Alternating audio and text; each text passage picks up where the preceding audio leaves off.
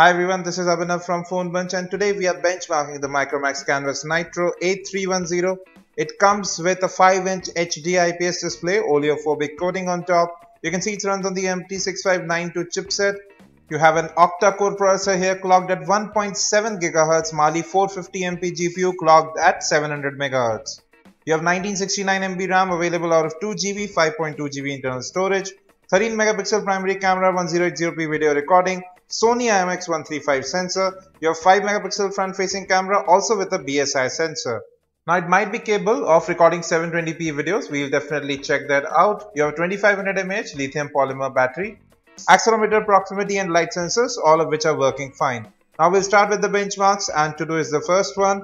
We fast forward all the benchmarks to get to the results quickly.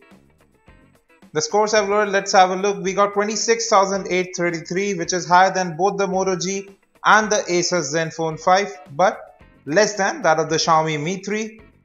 Now we'll run NenaMark 2, it's a graphics benchmark, will give us an FPS rate. And we got 60.6 FPS meaning high-end games should be very easily playable on this device, we'll definitely check that out. Now we are running the quadrant benchmark, it's the full benchmark here as well.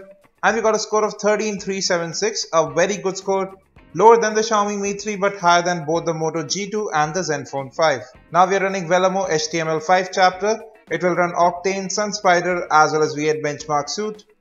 So we got a score of 2109 which is higher than the Xiaomi Mi 3, Moto G as well as the Asus Zenfone 5 and you can see it's just below the Nexus 7 right there. Now we are running the metal chapter of Vellamo specifically test the processing capabilities. We got a score of 964 again higher than both the Moto G2 and Zenfone 5 but lower than the Xiaomi Mi 3.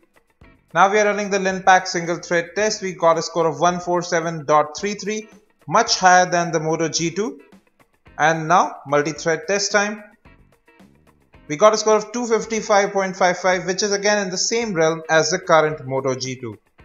Out of the 8 fingers on the display, 5 are detected. It's a 5-point multi-touch display. While the Zenfone 5, Mi 3 as well as the new Moto G have a 10-point multi-touch display. In terms of general performance, you can see that there is a slight hint of lag in the UI, but it just might be the launcher. The Canvas Nitro is a great proposition at Rs 12990 as it comes with an octa-core processor, 2 gigs of RAM and a 5-inch HD IPS display. We'll be back with more on it. Till then, you can watch its unboxing from right here, as well as the benchmarks of the new Moto G second generation.